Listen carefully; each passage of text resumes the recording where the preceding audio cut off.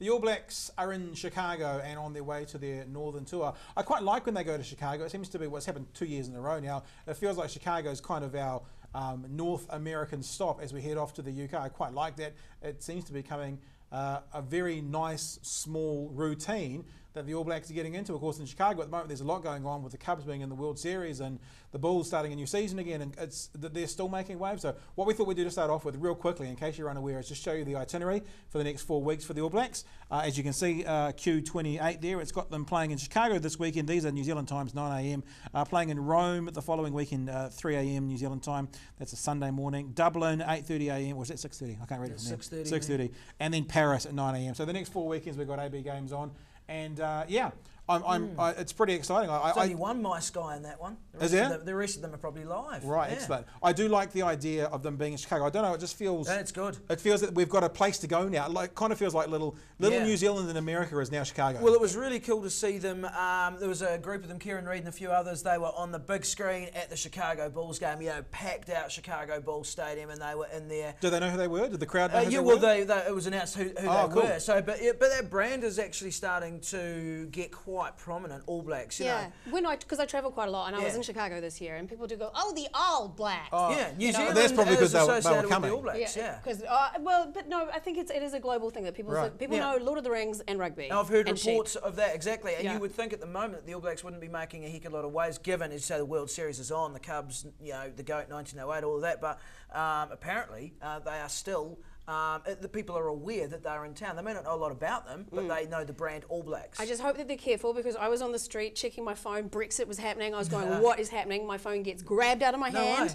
yeah. Someone dashes down a side street. I start running after them, going, "I'm from a different country. I need it." Like he's mm. going to go, Oh, "Oh, I'm so yeah. sorry, madam," and give it back. sorry about that. But this Have other guy yeah. comes streaking past, grabs it back. They wrestle for my phone, grabs it back off him, and gives it to me. Mate, did, he, did he give him a punch as well? No, well then the other guy came back with his mate and looked like they were going to have a punch, but then it all went away. that's a chivalrous mm. act, right I there. know, and I was like, that. dude, and hugged him, and yeah, so Chicago is a mixed bag. Even As though you what gonna found get- out in like 10 seconds. It, it was like great. my heart was going. Yeah, it was all pretty crazy. That's but a I great started running after him like like it's Chicago. He could have gone. But I was yeah, like, I'm true. Wonder Woman. Give it back. Anyway, back to back, rugby. Back to the rugby. That was a great story, though.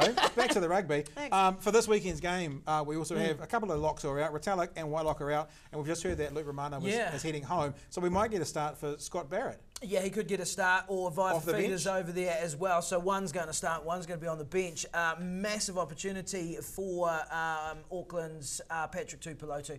He is such an impressive rugby player. Got a lot of time for that boy, and uh, I think.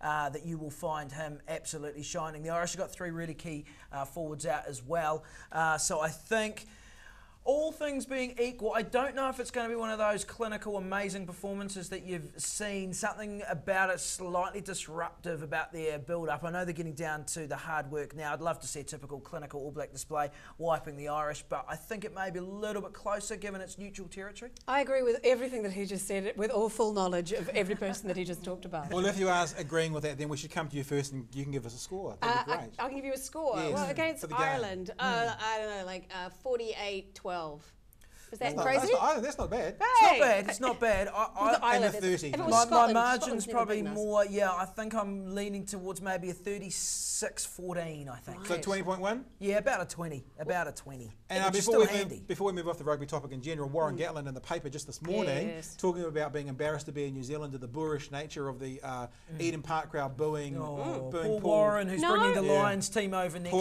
year. Quade Cooper. I agree. I agree. Again, the, the whiny lady in the middle is saying, "I just get sick of it." I think that there's just nothing worse than a, a sore winner. Do you know what I mean? Like you know, sore losers bad enough, but like when you when you trumpet over other people, Trump, Yeah, but it's, when beca- you're winning, it's become a thing though, especially know. with Quade Cooper. It's, It's kind of like Quade Cooper. things. What did he even do? Yeah, he represented Quade his country. Cooper, Oh, he did something, didn't he? What did he do? He attacked uh, Richie McCaw pretty viciously Oh, on several brazen, occasions. On several occasions. disgraceful Several attack. occasions. Yeah, Mm, I'm okay. surprised Richie's still got a head after the uh, battering that he was given by Yeah. uh, by Quade. But just That to constantly terrible. boo, and it's but it's not just him. It's like Australia, and my mother's Australian. I get so sick Oh, of the sorry. If we had have known that before we started today, Yeah, but just know. be nice. don't you know? Like we're winning, so just But be you know, happy. part of going to a live sports event is giving it to the opposition. You don't have to be nasty. well, right? yeah, don't have to boo. Oh, but is booing really that nasty? Yes. You know, some's about to go and take a kick, and you go, boo. I'm just gonna. Hope St- you I'm miss gonna it. That's come, all right. come into news talk when you're on and just go boo. Oh god. Oh what a softie. Oh soft. Mm. boo boo boo. So great that you if we go to your show at the Globe Theatre, Yeah.